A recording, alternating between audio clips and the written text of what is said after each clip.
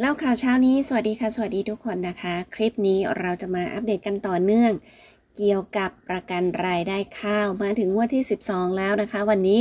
30 ธันวาคม 2564 ซึ่งตรงกับวันหวยออกพอดี เราจะมาดูกันว่ามีอะไรพิเศษ ข้าวชนิดใดได้รับการชดเชยสูงสุดนะคะอัปเดตล่าสุดงวดที่ 12 ประกันรายได้ข้าวเคาะแล้วนะคะ งวดนี้ซึ่งตรงกับวันหวยออก ข้าวเปลือกหอมมะลิรับชดเชยสูงสุด มาตรวจสอบสถานะเช็คให้ชัวร์รับสิทธิ์ให้ไว เพียงแค่ท่านกด ตรวจสอบสิทธิ์ได้ที่ลิงก์ใต้คลิปนี้นะคะคืบหน้าล่าสุดประกันรายได้ข้าวในโครงการประกันรายได้เกษตรกรผู้ปลูกข้าว ปีผลิต 64ทับ65 หรือประกันราคาข้าวนะคะ หลังจากที่ 30 พฤศจิกายนที่ประที่ประชุมมติคณะรัฐมนตรี อนุมัติวงเงินรวม 76,080.95 ล้านบาท ในโครงการประกันรายได้เกษตรกรผู้ปลูกข้าวปี 64ทับ65 เพิ่มเติมล่าสุด เคาะเงินจ่ายชดเชยมาถึงงวดที่ 12 แล้วนะคะ นายธิวริศพรพันธวิทย์นายกสมาคมส่งเสริมเกษตรกรชาวนาอีสาน และในฐานะคณะอนุกรรมการกำกับดูแล และกำหนดเกณฑ์กลางอ้างอิงการชดเชยส่วนต่างราคา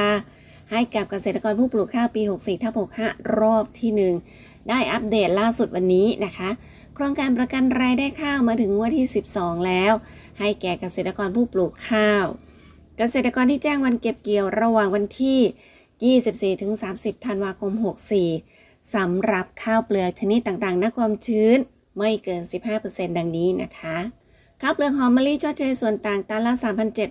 3,778.50 บาท ข้าวเปลือกหอมมะลินอกพื้นที่ชดเชยส่วนต่างตันละ 3,104.39 บาท ข้าวเปลือกเจ้าชดเชยส่วนต่างตันละ 1,074.06 บาท ข้าวเปลือกหอมปทุมธานีส่วนต่างตันละ 1,808.75 บาท และข้าวเปลือกเนี้ยวส่วนต่างตันละ 2,488.53 บาทนะคะสำหรับประกันรายได้ข้าวปี 64ทับ65 หรือโครงการประกันรายได้เกษตรกรผู้ปลูกข้าว ปีผลิต 64ทับ65 ทกสจะทยอยจ่ายเงินส่วนต่างราคาประกันรายได้ข้าว เข้าบัญชีเกษตรกรผู้ปลูกข้าวหรือชาวนาอย่างต่อเนื่องนะคะกรมการค้าภายในสังกัดกระทรวงพาณิชย์หน่วยงานที่กำกับดูแลโครงการประกันรายได้ข้าวกำหนดการจ่ายเงินส่วนต่างราคาข้าวให้กับเกษตรกรปีผลิต 64ทับ65 รวมทั้งสิ้น 33 งวดนะคะ เริ่มตั้งแต่ 15 ตุลาคม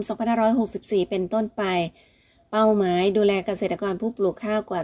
4.68 ล้านครัวเรือนนะคะ อัปเดตล่าสุดนะคะ ประกันรายได้ข้าวงวดที่ 12 เคาะแล้วงวดนี้ ตรงกับวันหวยออกนะคะ ไปเช็คกันนะคะ ว่าข้าวชนิดใดได้ชดเชยส่วนต่างสูงสุด